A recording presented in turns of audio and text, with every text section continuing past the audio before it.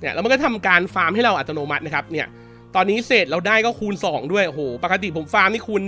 1โอ้ตอนนี้นี่แบบอย่างคุ้มเลยอะก็ได้เศษมาตามนี้นะ มันไม่ได้ขึ้นแค่นี้นะต้องกดเข้าไปดูใน reward list นะครับเนี่ยได้เศษของชาร์มีซาคุหนึ่งมา 4 ชิ้นนะครับกันดั้มมา 6 ชิ้นอ่ามีซาคุซาคุ2มา 10 ชิ้นเนี่ยเอ้ยได้เยอะอันนี้ แล้วก็ชาร์ 2 ชิ้นนะครับเอ้ยแล้วก็ได้ Full Armor 8ชิ้น ลิกาซี่นี่ได้ 12 อยู่แล้วนะครับโอ้โหแล้วลิดดี้เราอยากได้ลิดดี้ไม่อยากได้หุ่นเนี่ยมาเต็มเลยไอหุ่นอะไรเนี่ยรีเซลรีเซลสีแดง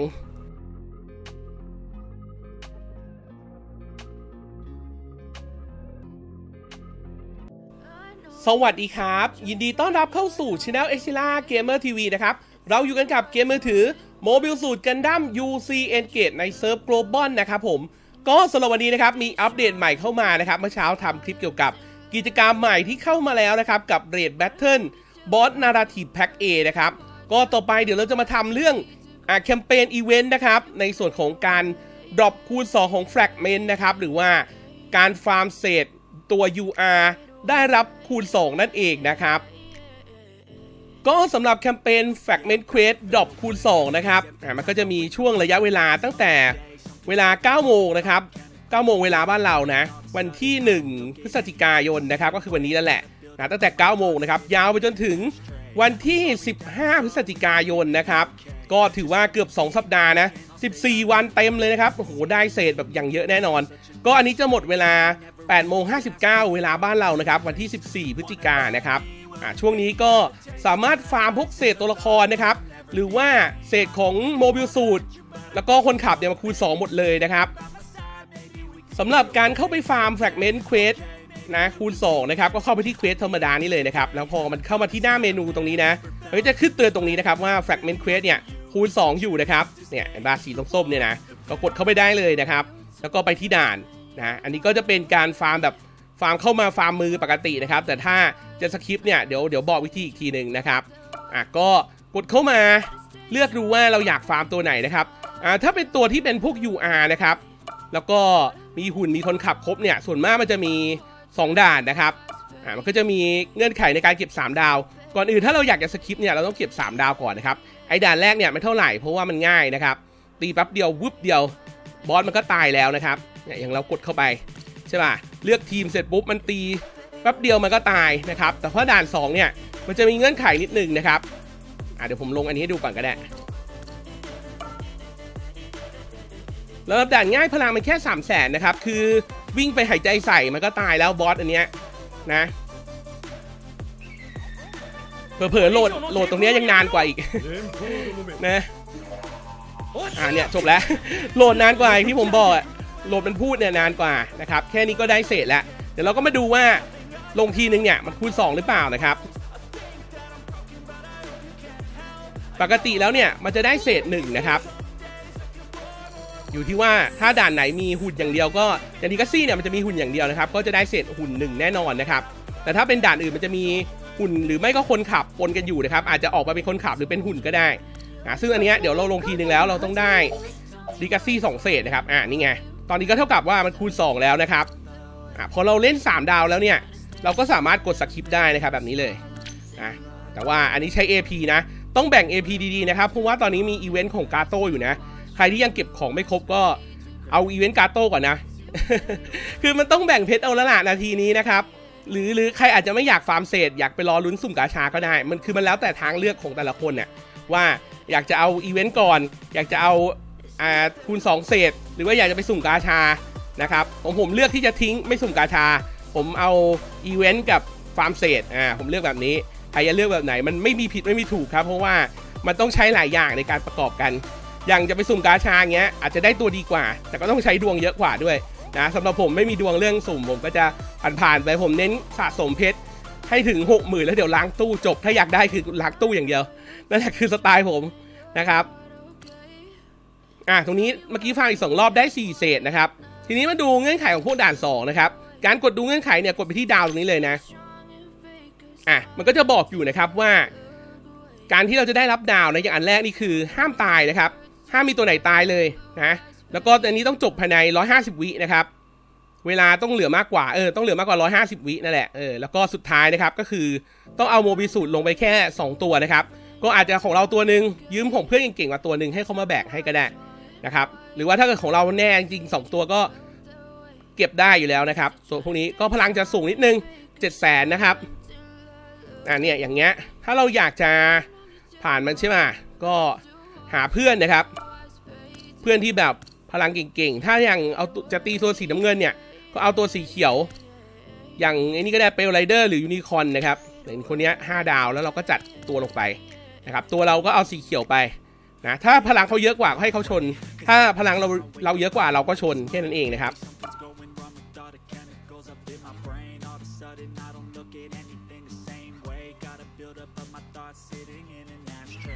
อ่าเนี่ยเราก็ลงไปแบบนี้นะครับคือตัวเนี้ยจะพลังเยอะนิดหนึ่งนะเลือดเยอะอะเราก็จับเพื่อนเราชนไปนะเราก็มาคอยยิงต่อยข้างแต่เดี๋ยว บอสมันก็หันมาตีเราบ้างนั่นแหละนะครับเป็นธรรมดาเพราะว่าส่วนมากตัวที่ยืมมามันจะถูกเล็งน้อยกว่าอยู่แล้วอ่าเนี่ยจบแล้วนะครับแค่นี้เองนะยิงถ้าเพื่อนเราเก่งเนี่ยแป๊บเดียวก็เคลียร์ได้ทุกตัวนะครับ ก็ยืมให้ตรงสีแค่นั้นแหละ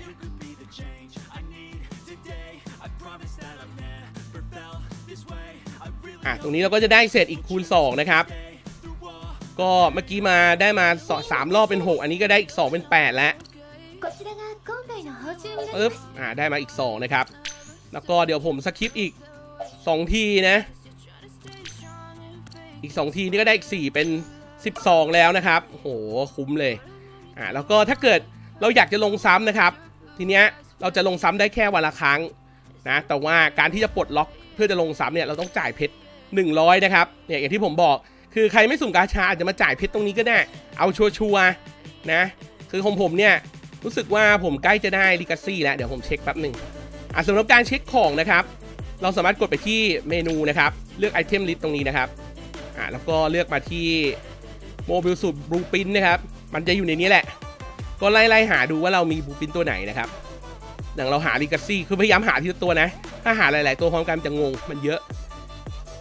อ่าลิกาซี่ตอนนี้ผม 204 แล้ว ก็เท่ากับว่าเราได้ตัวมาแล้วนะครับ ถ้าเราจะฟาร์มเศษสามเพื่ออัพบ้างมันเนี่ย เราก็ไปฟาร์มต่อได้นะครับ ก็จ่ายเพชรไปนะครับ แล้วก็ตรงนี้ตัวละครจะเป็น Character Piece นะครับ อันนี้ก็คือตัวคนขับนะครับ ตัวคนขับก็จะอยู่จะมาอยู่ในนี้นะครับ เออแล้วก็ขอแก้ข้อผิดพลาดนิดนึง รู้สึกว่าคลิปเกี่ยวกับเรื่องการฟาร์มเนี่ยผมจะแนะนำพลาดตัวนี้ไปตัวหนึ่งลิดดี้มาเซนาตัวนี้นะครับ รู้สึกว่าจะเป็น UR นะ ถ้าดูจากวิกิมาไม่ผิดนะครับ เป็น UR แต่ว่าขับหุ่นม่วงนะครับ ถ้าไงใครมีข้อมูลชัดๆ ลองอธิบายอีกทีหนึ่งผมไม่แน่ใจตัวนี้เพราะว่าลิดดี้มันมีหลายเวอร์ชันมาก แล้วเราไม่ได้เป็นตัวที่เราใช้บ่อยด้วยนะครับ ก็เลยเฉยๆนะ แต่ว่าตัวด่านฟาร์มมันอะได้หุ่น SR นะครับนะก็ต้องเลือกนิดนึง ถ้าอยากจะได้คนขับสีม่วงนะ แต่ว่า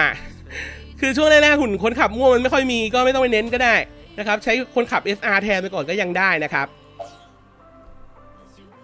เอาล่ะทีนี้เดี๋ยว ผมจะฟาร์มด่านเมื่อกี้ซ้ำอีกนิดหนึ่งนะครับ ก็ผมไปปลดล็อกมันก่อน อ่า เข้าไปที่ตรงนี้ แล้วก็ลิกาซี่นะครับ คือผมกะกะดันบ้างรีกาซี่อยู่แล้วไง อ่า เราก็จะจ่ายวันละ 200 เพชรเพื่อเอาเศษเบิ้ลนะครับ ปึ๊บ อะมันก็จะลงซ้ำได้อีกรอบนะครับ อ่า ประมาณนี้ แล้วเดี๋ยวทีนี้เดี๋ยวผมจะพาไปลงไอ้นี่ การฟาร์มแบบ skip แต่ก่อนอื่นเนี่ยเราจะต้องฟาร์มพวกด่านที่เราจะฟาร์มเนี่ยให้มันผ่าน 2 ด่านก่อนนะครับเงี้ยผมฟาร์ม complete หมดทุกอันเนี่ยว่ายง่าย อันนี้ของผม complete หมดทุกอันแล้วนะก็พอฟาร์ม complete หมดทุกอันปุ๊บมันจะไปขึ้นอยู่ใน list ของการฟาร์ม skip ได้นะครับแบบโดยรวม ซึ่งตอนนี้เคยทำคลิปไปทีนึงแล้ว แต่ว่าเดี๋ยวทำอีกทีก็ได้นะครับก็กดเข้ามาที่หน้า quest ปกติเลยนะปุ๊บแต่แทนที่เราจะกดไปเข้าตรงด่านฟาร์มตรงนี้นะครับเรากดมาที่ select all นะครับ อ่าแล้วก็เลือกที่อันไหนอันหนึ่งก็ได้นะ มันตอนแรกมันจะเริ่มมาที่อันหนึ่งนี่แหละนะครับ แล้วก็วิธีการฟาร์มนะครับ ถ้าถ้าเราจะเลือกเอาแบบแค่บางตัวนะครับ ก็เลือก search ไปแบบนี้ แล้วก็เลือกมาที่บูปินนะครับ หรือ character piece ถ้าเราจะเอาคนขับนะครับ แล้วเราก็จิ้มไปที่หุ่นมัน เนี่ย สมมติเราจะเอา 3 ตัวนี้ เราก็จิ้มไป 3 ตัวนะครับที่แต่ว่าเราจะเลือกได้แค่ทีละแค่นี้นะ 3 ตัวนะครับ เราจะกดแบบปรื๊ดเดียวหมดไม่ได้นะครับ เนี่ย แต่ว่ามันก็จะมีตัวที่เราสามารถฟาร์มได้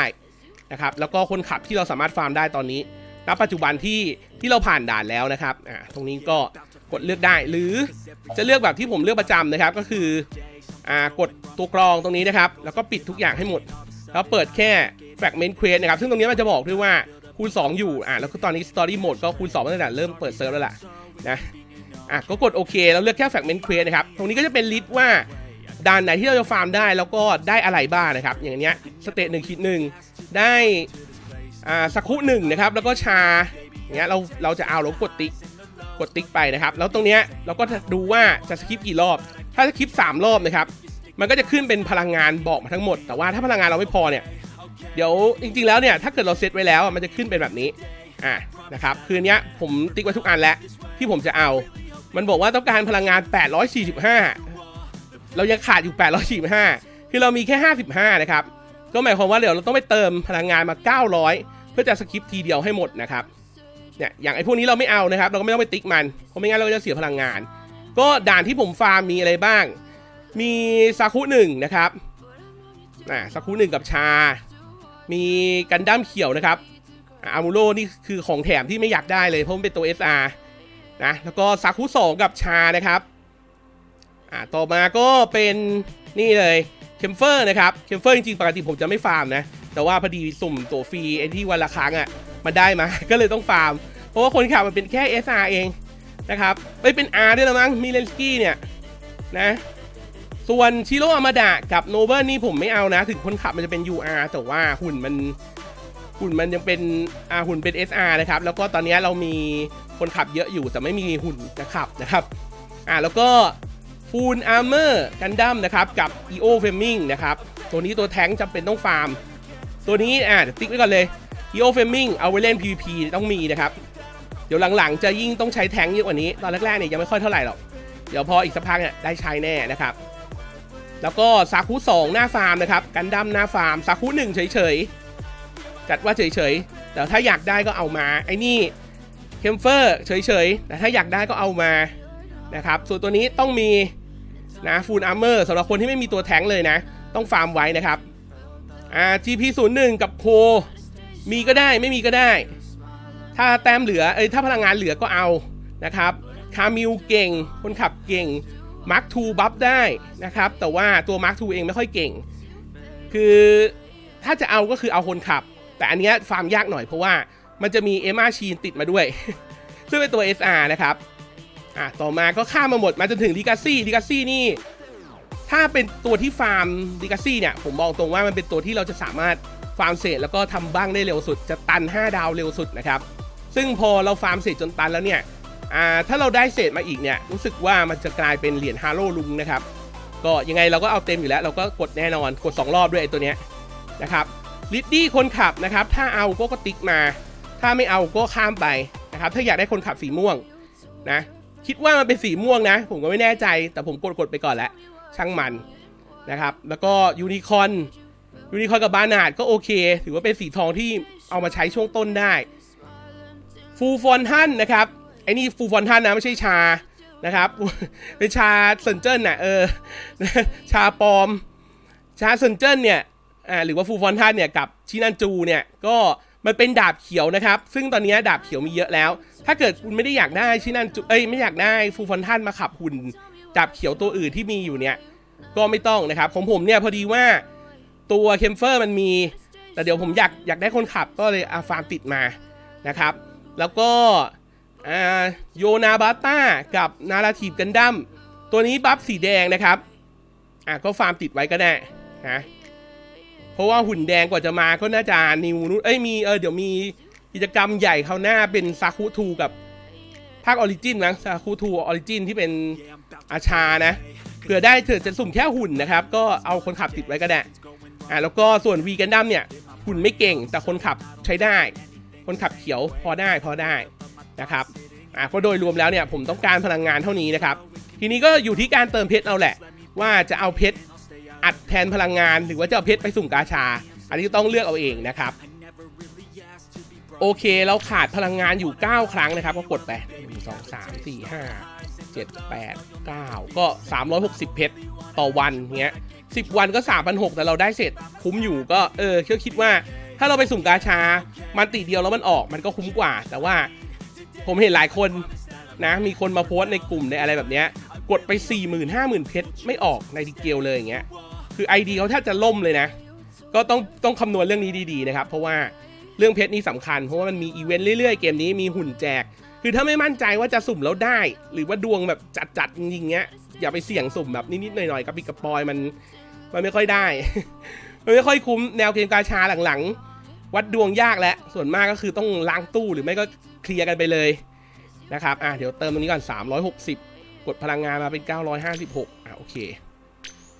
อะเราเติมพลังงานมาเนี่ยเราก็สคิปหมดเลยนะครับ ตามที่เราติ๊กไว้นะ เนี่ยแล้วมันก็ทำการฟาร์มให้เราอัตโนมัตินะครับเนี่ยตอนนี้เศษเราได้ก็คูณ 2 ด้วยโอ้โหปกติผมฟาร์มนี่คูณ1โอ้ตอนนี้นี่แบบอย่างคุ้มเลยอะก็ได้เศษมาตามนี้นะ มันไม่ได้ขึ้นแค่นี้นะต้องกดเข้าไปดูใน reward list นะครับเนี่ยได้เศษของชามา 8 ชิ้นนะครับ ก็มีหูมีจมูกปากมีไม่ใช่ เศษหูปิ้นเออแล้วก็มีซาคุหนึ่งมา 4 ชิ้นนะครับ กันดั้มมา 6 ชิ้นอ่ามีซาคุาคุ2มา 10 ชิ้นเนี่ย เอ้ย ได้เยอะอันนี้ แล้วก็ชา 2 ชิ้นนะครับ เอ้ย แล้วก็ได้ full armor 8 ชิ้นดิกัสซี่นี่ได้ 12 อยู่แล้วนะครับ โอ้โห แล้วลิดดี้ เราอยากได้ลิดดี้ไม่อยากได้หุ่นเนี่ย มาเต็มเลยหุ่นอะไรเนี่ย รีเซล รีเซลสีแดง แดงวะนั่นแหละ นะ อยากได้เป็นเศษหุ่นมากกว่า ทีทีฟูตบอลท่านอยากได้คนออกหุ่น สวย อะ แล้วก็เอมาชีเนี่ย เห็นป่ะ ผมบอกแล้วมันจะมา มาเกินครึ่งของมาร์คทูกับคาร์มิวอีกเห็นป่ะ12ชิ้นน่ะมาออกเอมาซีน6อะนะครับขาดทุนยับเลยอันเนี้ยนะก็โอเคยังได้นี่อยู่ตัวฟูลอาร์เมอร์เยอะหน่อยนะครับ แล้วก็ซาคุทูอย่างที่อยากได้อะประมาณนี้นะครับสำหรับการลงด่านฟาร์มเศษคูณ 2 ในช่วงกิจกรรมนี้นะ 2 อาทิตย์นะครับ เป็นแคมเปญพิเศษนะครับอะโอเคครับ ก็เดี๋ยวสำหรับคลิปนี้เราจบไว้เท่านี้ละกันนะครับ เออลืมไป พอเราได้เศษมาแล้วมันครบแล้วนี่เนอะ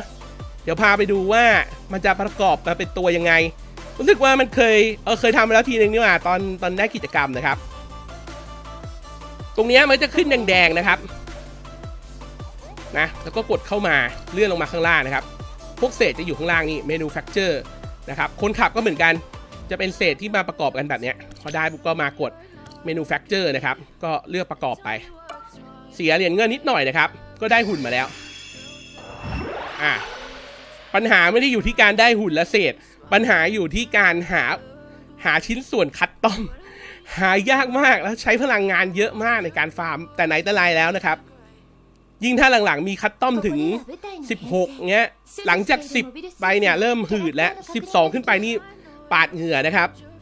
อ่าแล้วก็ในส่วนของชิ้นส่วนคนนะครับ จะมาอยู่ตรงนี้นะเขาก็จะแช่ช่องฟีดไว้ เอาไว้ทำตุนเตินเลยก็ว่าไป ไม่ใช่ โอเค อะก็เดี๋ยวสำหรับคลิปนี้ เราจบไว้เท่านี้ละกันหากใครที่ชอบนะครับ ก็อย่าลืมกดไลค์แล้วก็กด Subscribe ช่องผมไว้นะ แล้วเดี๋ยวเจอกันในคลิปหน้าครับผม วันนี้ไปก่อนแล้วครับ สวัสดีครับ